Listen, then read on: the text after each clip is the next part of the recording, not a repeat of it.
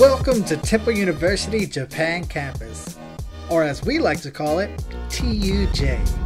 Today we have our mascot, Hooter the Owl, guiding us on a TUJ campus tour. TUJ is located in the Setagaya neighborhood. It's a two stop train ride from the famous Shibuya crossing, and only a five minute walk from the nearest train station, Sangenchaya. Established in Tokyo in 1982 and designated by Japan's Ministry of Education, TUJ is Japan's first foreign university, making it the oldest and largest American university in the country.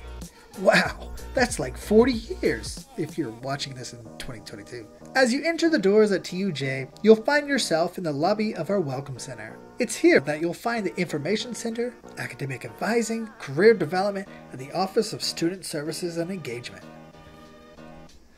Another thing on the first floor is our art gallery. Every semester, you can see exhibitions displaying the artwork created by our talented TUJ students. A short walk down from the main entrance is the Parliament. This area is often used for events like student film screenings, special guest speakers, club meetups, as well as the many fun activities hosted by the students during TUJ's Spirit Week.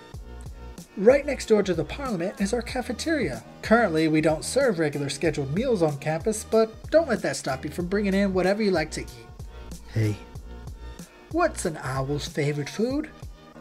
Vanilla ice cream. Both mm. areas of the cafeteria and the Parliament are great places to study or just hang out and relax with your fellow students. And if you need some fresh air, a couple of steps from the cafeteria and you'll find yourself in our lawn area. Connected to the lawn is the shared West Gym with our neighbors at Showa Women's University.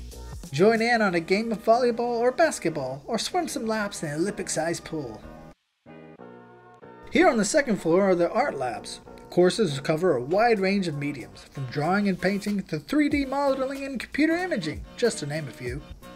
Also, here on the second floor, our TUJ library. It holds over 50,000 books and provides access to thousands of periodical titles. hey, what books do owls like to read? Mystery, who done it books.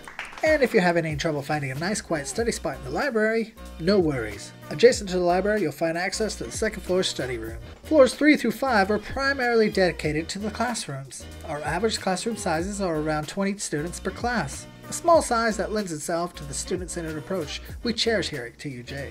Hey, what's an owl's favorite subject at school? Algebra. On the fifth floor, we have IT and their help desk, where students can check out laptops or ask for help with any technical problems that might arise. You'll also find the Windows and Mac labs on the fifth floor.